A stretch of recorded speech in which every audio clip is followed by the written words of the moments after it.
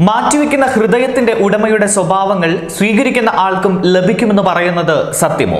P. Suresh Babu doctor Jose Chacko Periyapuram എന്നിവർ പങ്കുവെക്കുന്ന ചില അനുഭവങ്ങൾ അമ്പരപ്പിക്കുന്നതാണ്. തലച്ചോറിന്റെ രഹസ്യമുറങ്ങുന്ന അടരുകൾക്കപ്പുറത്ത് ഓർമ്മകൾക്ക് അസ്തിത്വമുണ്ടെന്ന് ന്യൂറോളജിസ്റ്റുകൾ സമ്മതിച്ചു തരില്ല. പക്ഷെ ലോകമെങ്ങും നിന്ന് അത്തരം അമ്പരപ്പിക്കുന്ന അനുഭവ വിവരണങ്ങളുണ്ട് എന്ന് അവർ അവകാശപ്പെടുന്നു. മനുഷ്യ ശരീരത്തിലെ ഓരോ കോശത്തിനും സ്വന്തം സ്മൃതി മണ്ഡലമുണ്ട് ഒരു പ്രത്യേകതരം ഉദ്ദീപനത്തോട് പ്രതികരിക്കുന്ന കോശങ്ങൾ എല്ലാ കാലത്തും അതേ ഉദ്ദീപനം ഉണ്ടാക്കുന്ന അനുഭവങ്ങളുടെ സമാനമായ വിധത്തിൽ പ്രതികരിക്കുമെന്നതാണ് സെല്ലുലാർ മെമ്മറിയുടെ അടിസ്ഥാന തത്വം.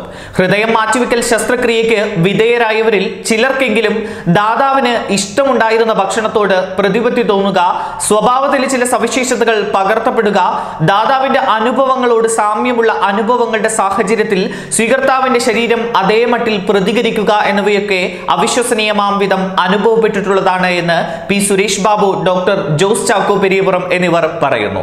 തെളിവുകളിൽ നിന്ന് വൈദ്യശാസ്ത്രം തള്ളിപ്പറയുമ്പോഴും ഉത്തരമില്ലാത്ത പ്രഹേളിക പോലെ കോശസ്മൃതി എന്ന അത്ഭുതം അനുഭവങ്ങളിലൂടെ നിലനിൽക്കുന്നുണ്ട് എന്നാണ് പറയപ്പെടുന്നത്.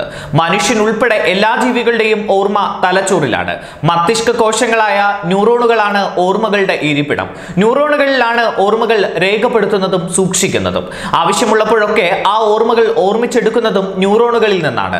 എന്നാൽ മസ്തിഷ്കത്തിന് പുറത്ത് ശരീരത്തിന്റെ മറ്റു കോശങ്ങളും ഓർമ്മകൾ സൂക്ഷിക്കുന്നുണ്ട്. ഓർമ്മകൾ മാത്രമല്ല വ്യക്തിപരമായ സ്വഭാവ സവിശേഷതകളും ശരീരകോശങ്ങളിൽ സൂക്ഷിക്കുമത്രേ. ഇതിനെയാണ് സെല്ലുലാർ മെമ്മറി അഥവാ കോശ സ്മരണ എന്ന് പറയുന്നത്. ശരീരത്തിന് മൊത്തം ഈ കഴിവുണ്ട് എന്ന വാദവുമുണ്ട്.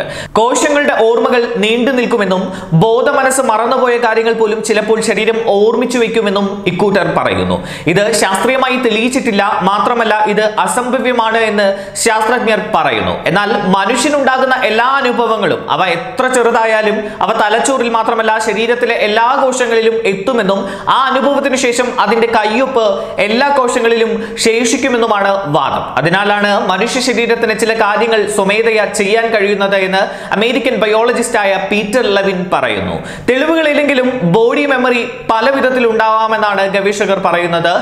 കായികമായ ഒരു പ്രവൃത്തി നിരന്തരം ചെയ്യുമ്പോഴും ആഘാതമുണ്ടാക്കിയ ഒരു സംഭവത്തോടുള്ള പ്രതികരണവും ഒക്കെ ഇതിന് കാരണമാകാം. ജീവന ഭീഷണിയാകുന്ന ഒരു ആക്രമണം ലൈംഗിക അതിക്രമം യുദ്ധം തുടങ്ങിയവ ആഘാതമുണ്ടാകുന്ന ഓർമ്മകൾ സൃഷ്ടിക്കും. അതെല്ലാം ശരീരത്തിന് തീവ്രമായ അനുഭവങ്ങളാകും. ഉദാഹരണത്തിന് ലൈംഗികാതിക്രമത്തിന്റെ ഓർമ്മകൾ ശരീരത്തിന്റെ പ്രതികരണങ്ങളായി രേഖപ്പെടുത്തപ്പെടും. പിൻകാലത്ത് ശരീരത്തിലുണ്ടാകുന്ന ഇന്ദ്രിയാനുഭവങ്ങൾ ആ ഓർമ്മകൾ ഉണർത്തും. ഇതുമായി ബന്ധപ്പെട്ട പല അനുഭവങ്ങളും മെഡിക്കൽ ഹിസ്റ്ററിയിലുണ്ട്. അവയവം മാറ്റിവെച്ചവരിലും പുതിയ ഓർമ്മകളും ചിന്തകളും വികാരങ്ങളും ഒക്കെ രൂപപ്പെടാം. അത് അവയവം മാറ്റിവെച്ചതിനെ പറ്റിയുള്ള ഉത്കണ്ഠകളിൽ നിന്നാവാം. പുതിയ അവയവത്തെ ശരീരം തിരസ്കരിക്കാതിരിക്കാൻ പ്രതിരോധ വ്യവസ്ഥയെ മരവിപ്പിക്കുന്നതിന് നൽകുന്ന മരുന്നുകളുടെ ബലമാകാം ഈ ഓർമ്മകളെല്ലാം മസ്തിഷ്കത്തിന് പുറത്തുള്ള കോശങ്ങളിൽ സൂക്ഷിച്ചു വയ്ക്കപ്പെടും എന്നതിന് ശാസ്ത്രീയമായ പിൻബലം ഇല്ലെന്നിരിക്കെ ഇത്തരം ഓർമ്മകളും മസ്തിഷ്ക കോശങ്ങളിൽ തന്നെ സൂക്ഷിച്ചു വയ്ക്കാനാണ് സാധ്യത എന്നും ശാസ്ത്രജ്ഞർ പറയുന്നു. എന്നാൽ ചിലതരം ജീവികൾക്ക് സെല്ലുലാർ മെമ്മറി ഉണ്ടെന്നതിന് തെളിവ് നിരത്തുന്നുമുണ്ട്. തലയും തലച്ചോറും നീക്കം ചെയ്ത നാടവിരകളെ പരിശീലിപ്പിക്കാൻ കഴിയുമെന്ന് അമേരിക്കയിലെ ടെഫ്റ്റ് സർവകലാശാലയിലെ ഗവേഷകർ തെളിയിച്ചു. ഈ വിരയുടെ ഇരുന്നൂറ്റി എഴുപത്തി ഒൻപതിൽ ഒരംശത്തിൽ നിന്ന് ആഴ്ചകൾക്കുള്ളിൽ ഒരു പൂർണ വിരയെ വളർത്തിയെടുക്കാനും പ്രകാശത്തിന്റെയും ഭക്ഷണത്തിന്റെയും നേർക്ക് ചലിക്കാൻ പരിശീലിപ്പിക്കാനും കഴിഞ്ഞു.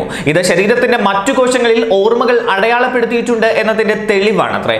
മനുഷ്യനിൽ ഇത്ര സാധ്യത തെളിയിക്കാൻ ഇതുവരെ കഴിഞ്ഞിട്ടില്ല. മാറ്റിവെക്കുന്ന ഹൃദയത്തിന്റെ ഉടമയുടെ സ്വഭാവങ്ങളിൽ ചിലത് സ്വീകരിക്കുന്ന ആൾക്കും ലഭിക്കുമെന്ന പ്രചാരണം ശാസ്ത്രീയമായി രേഖപ്പെടുത്തിയിട്ടുമില്ല.